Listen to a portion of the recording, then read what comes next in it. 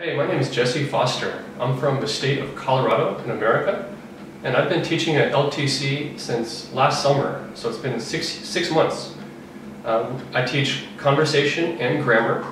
I teach children, I teach adults and teenagers. LTC is a great place for you to come to learn English, have fun, and just practice. Uh, so please come to LTC. We have 10 foreign teachers about. We have teachers from the USA, from South Africa, from the UK, all different places.